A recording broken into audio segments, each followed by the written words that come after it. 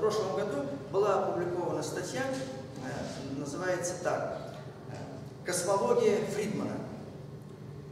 Это первый и второй номер за прошлый год. Можете прочитать его, посмотреть. В 1915 году Альберт Эйнштейн создал общую теорию относительности. Там 10 э, довольно сложных дифференциальных уравнений. А в 1922 году петербургский, петроградский, петроградский физик Александр Александрович Фридман э, получил некоторые следствия из этих уравнений, получил два, написал два уравнения, которые описывают, которые описывают рождение, жизнь и смерть всей Вселенной. Это знаменитые уравнения Фридмана. знаменитые уравнения Фридмана. Что значит дифференциальное уравнение? Я попытался рассказать о дифференциальном уравнении, используя вот эту картину. Значит, дифференциальное уравнение в механике, скажем, это то уравнение, которое связывает функцию и ее производную. А если сказать более доступно для вас, это уравнение, которое связывает координату и скорость потому что, можно так сказать, образно, производная – это скорость. Функция одно, у функции есть производная, производная – это скорость. Так вот, есть уравнение, которое связывает координату и скорость. И вот сейчас я напишу вам уравнение Фридмана, которое связывает э, координату и скорость. Координату и скорость. А мы с вами знаем, насколько полезно рассматривать связь, зависимость между координатой и скоростью. Вот здесь, рисуя этот фазовый портрет, мы именно и следили за тем, как связана скорость и координата. Итак, уравнение Фридмана из космологии. Детали вы можете прочитать в кванте, но там это рассказано э, с позиции энергии. А я же сейчас то же самое вам расскажу с позиции фазового портрета.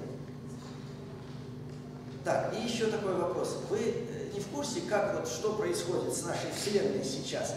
Вот она расширяется, сжимается или остается в неизменных размерах? Как вот сейчас? Расширяется. Да, вот Вселенная расширяется.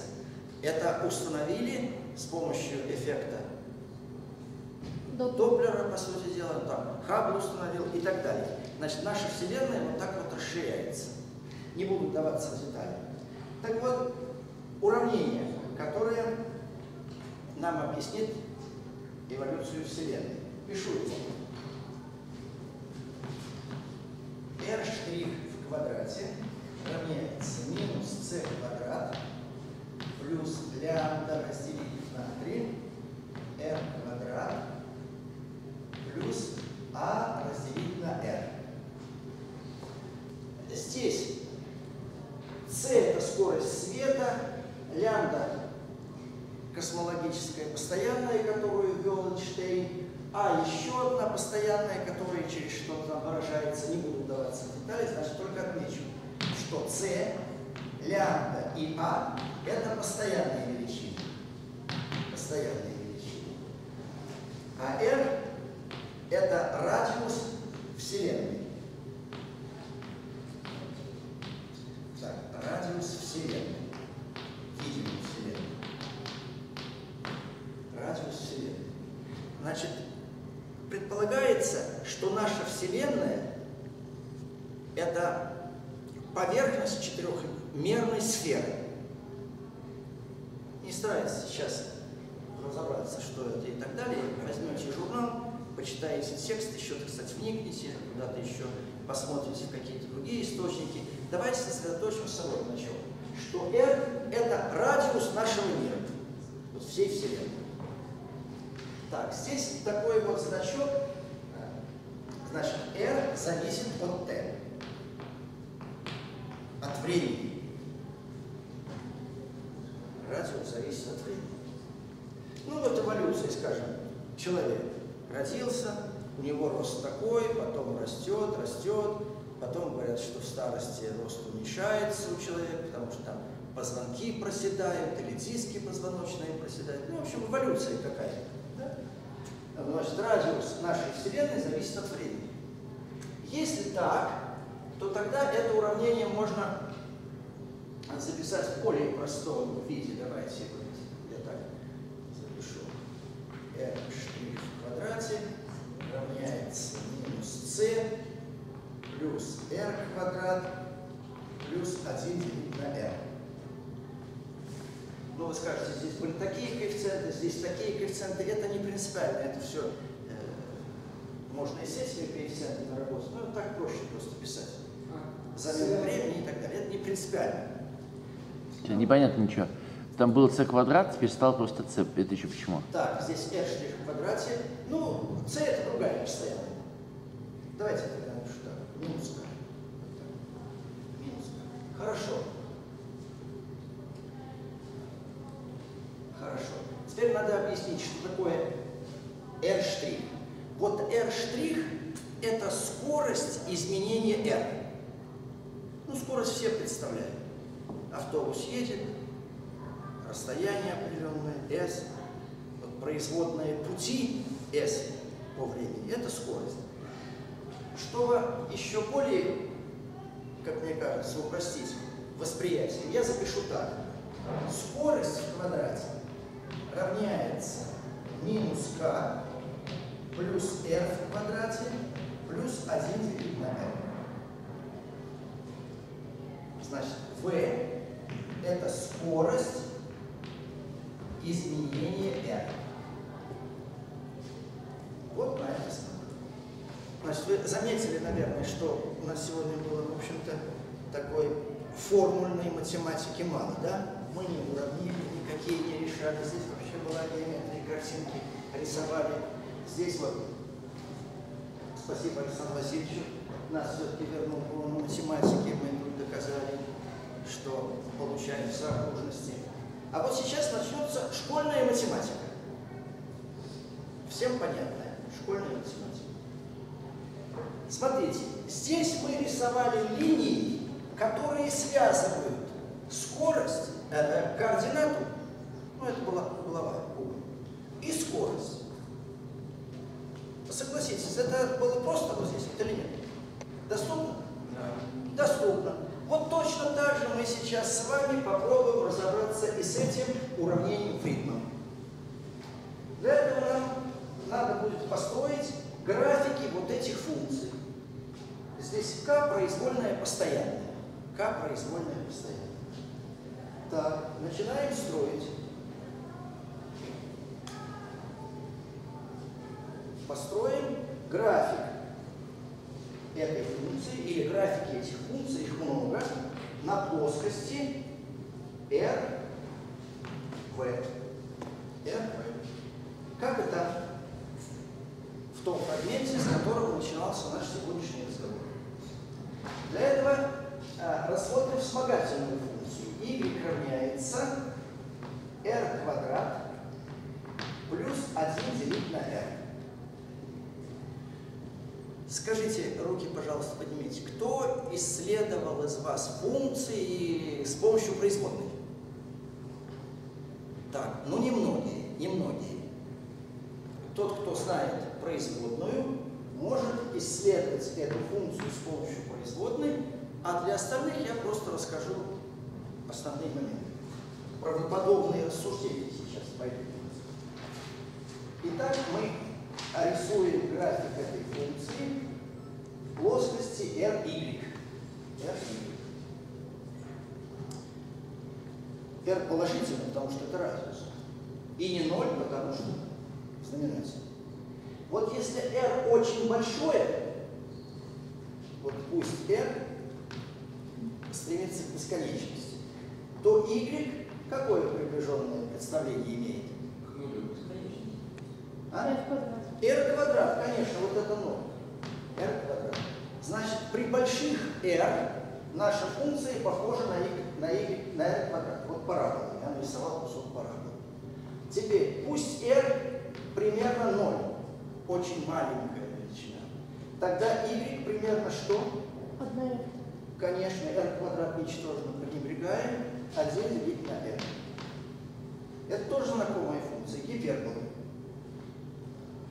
Значит, график идет вот так вот, как гипербола. Теперь возникает вопрос, как они тут пересекаются. Вот, вот эти варианты какие? Вот так вот пересекаются, а, соединяются, да, склеиваются, как говорят математики. То есть вот одна точка минимума здесь, или тут может быть вот такая вот волна, то вверх, то вниз. На самом деле график имеет вот такой вид. Одна точка минимума. Одна точка минимума. Объяснение простое. Если бы у нас были вот такие здесь колебания туда-сюда, да, то получалось бы, что некоторое значение y получалось бы при скольких значениях аргумента? Два или больше. Два или более. Два или более. Это значит, y какое-то, а ему соответствует, принимаем без доказательства, что график вот такой. С единственной точкой минимума. Единственной точкой минимума. Это мы построили без график. А если здесь присутствует в правой части еще вот это слагаемое минус k, что произойдет с этим графиком? Совершенно верно вы показываете. Среди них есть график, который касается оси R. Вверх них мы сместили. Это, по сути дела, мы построили график какой? v квадрат. Можно сказать, что здесь уже не ось y у нас, а v квадрат. v квадрат. А теперь, как иногда говорят, допуская вольные встречи, надо извлечь корень квадратный из этого графика. Из этого графика. Ясное дело, что извлекать корень можно только из той функции, которая не отрицательна. Значит, давайте выделим здесь те участки, где функция это положительная. Вот. Вот. Вот произошло касание. А потом надо брать только вот этот участок, вот этот участок, вот этот, а здесь вот такие вот. Вот. Хорошо. Значит, начинаем извлекать корень квадратный из этой, из каждой из этих функций. Здесь самое важное. Итог нашей работы, значит, это r, а когда мы извлечем корень, то получится уже v, скорость. Значит, есть тут линия, которая касается оси r. Когда мы извлечем корень квадратный, значит, получится вот так вот, тоже будет тут вот одна точка, вот так вот. Но мы же не в арифметике, а в алгебре, значит, плюс-минус. Симметрия. Так. И так. Так, если возьмем ту функцию графика, которая все время положительная, вот здесь вот, то извлечем корень вот так вот получится. Так. Вот эти фрагменты, я их не называю, вы видите, которые вот справа от точки касания. Значит, здесь квадрат возрастает монотонно, извлекаем корень квадратный, тоже получится возрастающая функция и симметрия, да? Плюс-минус. Да, здесь я забыл нарисовать симметрию. Так, все, извлекли корень полностью или нет? Нет, еще осталась левая часть. Да, вот тоже вот еще вот есть кусочки, которые соответствуют убывающей функции v квадрат. Когда из убывающей функции извлечем корень квадратный, тоже будет убывающий. Вот так, так. И плюс-минус, значит, вот так и вот так. И вот у нас получился фазовый портрет, который описывает поведение Вселенной в модели Фридмана. Вот если это, картинка описывает поведение маятника, и здесь мы можем увидеть все пять возможных типов движения. Два положения равновесия, вращение, да, колебания, движение по сепаратрисам, то вот эта картинка изображает или выражает, отражает эволюцию Вселенной в модели Фридмана. Вот несмотря на то, что построение этой модели было значит, сложно, но не просто, нельзя его объяснить. А вот итоговая картинка, она допускает простую наглядную интерпретацию. Так, теперь давайте смотреть, что, э, чему это соответствует. Чему это соответствует. Здесь можно выделить три типа траекторий. Там было пять для маятника, а здесь три типа траекторий. Во-первых, обратимся вот к этой траектории. Пусть мы находимся вот здесь, вот Т0, точка. Т0. Это значит, наша Вселенная имеет некий размер и некую скорость. Оказывается, что это невозможно. Вот такое движение, такая фазовая траектория невозможна. Потому что если мы обратимся в прошлое, вот, э, вот здесь, по времени как происходит событие, смотрите, стрелку я должен куда поставить, вправо, э, вверх или вниз?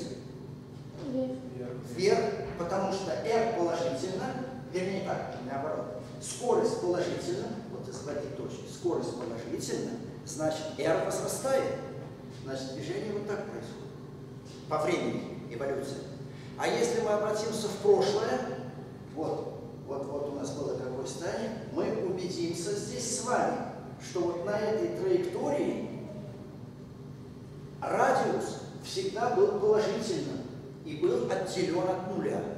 Вот здесь нет, на этой траектории нет малых значений радиуса. А согласно концепции Большого Взрыва, вот вся Вселенная родилась из одной точки. Вся масса была сосредоточена в одной точке, радиус был бесконечно малый. Значит, эта траектория, вот эта начальная точка отпадает. Ее не может быть. Ее не может быть. Следующая точка. Вот эта. Эта точка соответствует нулевой скорости. Нулевой скорости.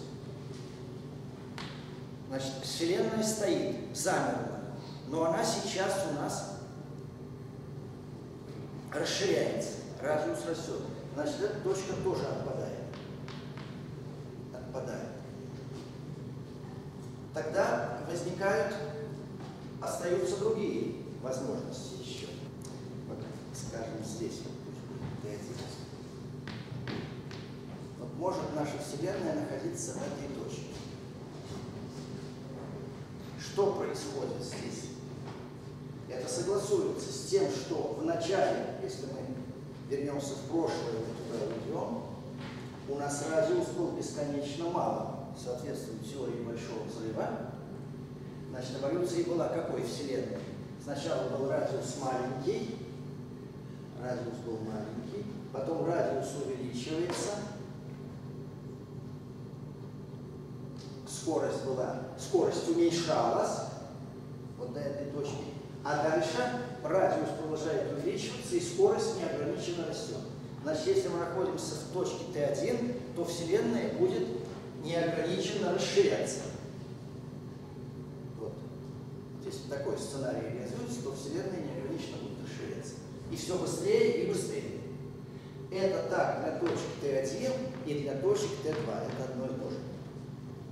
Просто разная будет эволюция скорости. Если для этой точки, то у нас скорость будет замедляться, уменьшаться, вернее, расширение будет уменьшаться, а потом снова начнет расширяться все более и более. Так, следующий вариант какой?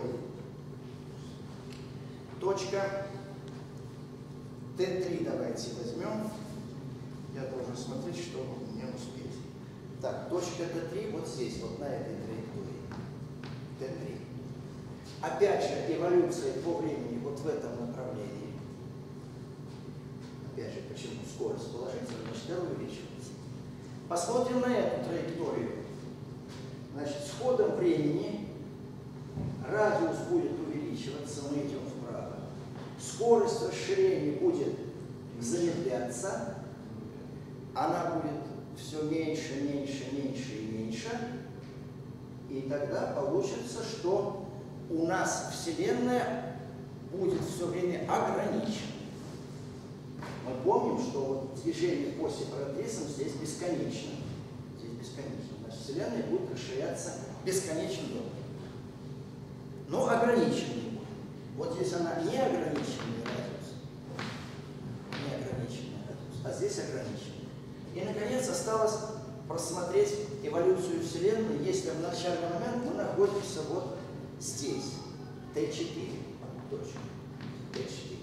Что будет здесь происходить? Опять движение по фазовой траектории. Вот так. Значит, радиус будет увеличиваться. Да. Скорость, что будет происходить со скоростью?